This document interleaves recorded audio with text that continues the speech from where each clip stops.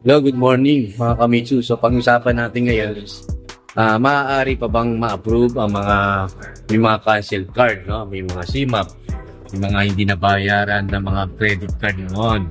So madalas marami na hong ganyan na uh, nahihirapan magpa-approve. So sa akin naman on my part, meron na ho akong napa-approve sa ganyan dahil meron na ho basta yung uh, kailangan gawin, no? Kailangan natin sundin to mga kamitsu para at least eh, mas mataas ang chance nating ma-approve. Kaya ano pa hinihintay nyo kung bago ka lang sa aking channel at kahit wala ka pang plano na mag-auto loan, at least meron na kayong kilala na agent na willing tumulong sa inyo. Kaya i-share nyo lang po itong video na to, i-like nyo, at pag-subscribe ko kayo mga Hello mga kamitsu, welcome back. Nandito ako sa uh, UMC Head Office, Paco Otis. So, i-discuss natin is yung CMAP o yung may problema sa credit card. So, madalas na makikita niyo sa thumbnail ko. Pero bago ako magsimula pala mga kamitsu, uh, disclaimer lang, lahat po naman po yan is for approval. No? Wala ho 100% sure approval sa auto loan. No? Meron dyan mga pasalo.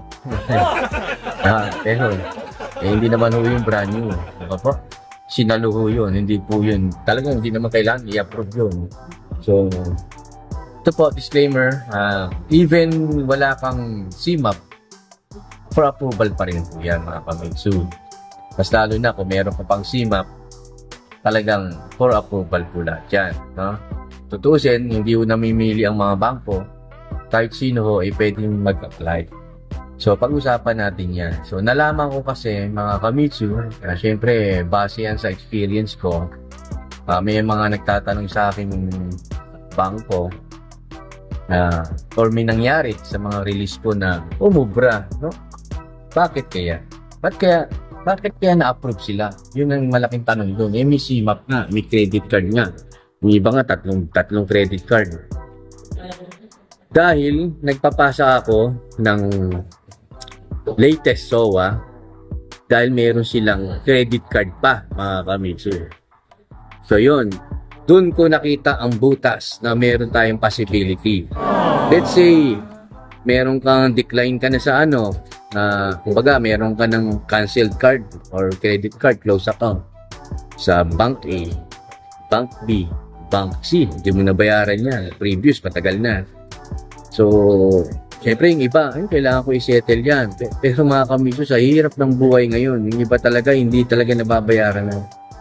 Pero, may good news dahil meron pa siyang credit card na isa na active.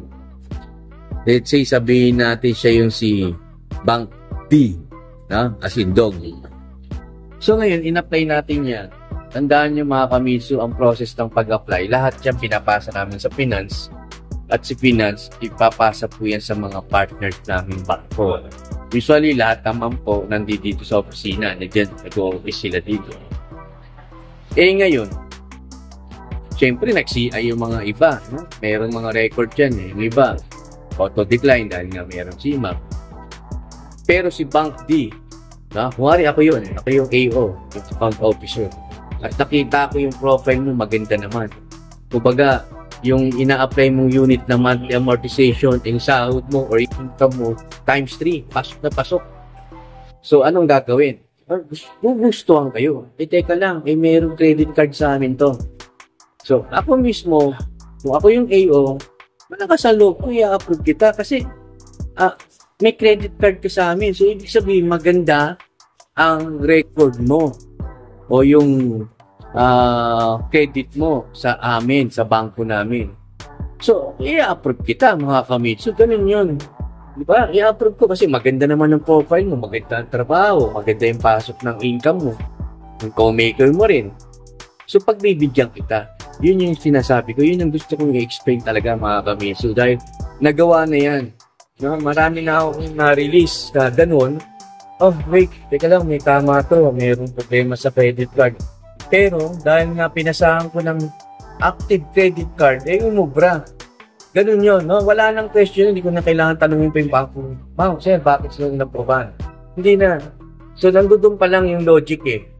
Eh, kasi may credit card ka doon. Kaya doon kanya in-approve. Na, meron din akong ibang kliyente. Talbog naman sa cheque. Eh, maganda ang profile. Kita nila eh, oh, ganda ng pasok ng business nito ah. Madaming pera. Oo, sabihin natin may mga bounce check siya. Then nakalipas na yun eh. Di ba po? Naka-hold na yun. Kumbaga, uh, gusto niyang i-approve eh. Una-una, may credit card na siya. Plus, syempre may bounce check. Subukan ko kaya to. Mag, ay, utos sa akin ng bangko, sabihin mo sa kliyente mo, mag-open ng checking account. Nakapag-open eh. Na-release. Ganun yung mga kamitsu. Pero katulad na sinabi ko noong una, disclaimer, lahat po yan for approval. No? With or without CMAP for approval. Even nga yung matataas ng sahod, hindi pa rin napagbibigyan. Dahil mga parameters kasi yan na sinusunod at pinapasa lang natin kung ano yung dapat na ipasa sa kanila. So, nasa sa kanila pa rin yan, lang mga kamitso. Kaya yun, sana may natutunan kayo, huwag kayong mawala ng pag-asa. Uh, huwag din ho kayo masyadong magpadali dahil hindi ko kasi pwedeng kulitin ng bangko. Yung tipong minu-minuto. Hindi po kasi marami ho silang inahandle. Tandaan nyo, ilan ho kami rito sa main office. So, sabihin natin mga nasa 200 na agent. Yung mga branch pa ho namin, 200 agents. Yung mga branch pa na iba, o yung ibang company, 200 ang agents pas yung mga ibang brand pa na units. Ang dami ho, mga kamitsu. So, yung mga AO, marami rin hawak. Na? Let's say, ako yung AO, tatlong branch ang hawak ko ng Mitsubishi. Eh, meron pa ho akong Toyota o meron pa akong ibang brand na hinahawakan. Ganun yung mga kamitsu. So, hindi ibig sabihin na parang ang dating ako lang ang kayente. Hindi ho, marami ho kami. So, ganun na mga kamitsu. Kaya, konting tiis, konting wait lang at talaga pong magsasabi naman po ako kung ano ang mga status ng mga application ninyo. Iba ko talaga matagal pero pinipilit ko pa rin mga kamitsu. Kaya iniimbitahan ko kayo mag-subscribe uh, kung may kilala kayo na hindi mga PCMAP, may credit card na cancelled at mayroong active credit card i-apply natin. So, ganun na mga kamitsu. Subscribe po. Mitsubishi is waving at you. This is Agent Colson, your Mitsubishi sales executive. Looking for the best auto loan options? Mitsubishi has got you covered with our exclusive financing promo. Get ready to drive your dream car with incredible financing deals, low interest rates, and flexible payment plans.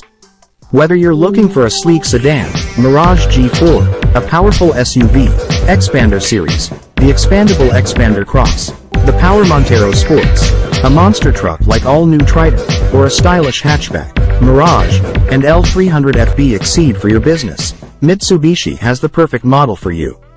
But wait, there's more. Subscribe to our YouTube channel, Mitsubishi Agent Colson, today and never miss out on about Mitsubishi Auto Loan application, valuable auto loan tips, tricks, expert advice, and exciting promo. Yo, mga kamitsu, kung bago pa lang, mag-subscribe kayo para updated kayo sa lahat ng mga models ng Mitsubishi, mga upcoming models ng Mitsubishi, at ang importante sa lahat, auto loan tips ni Agent Colson. Napaka-effective niyan. Uh, nandiyan dyan sa description sa baba. Kung gusto nyo mag-inquire, at pwede rin kayo manood dyan. I-click nyo lang yung mga link ng aking mga certified Kamitsu, mga na-release natin. Mga. Kaya bago ka lang, mag-subscribe kayo at kung luma, mag-stay mga Kamitsu. So, what are you waiting for? Like, share and subscribe.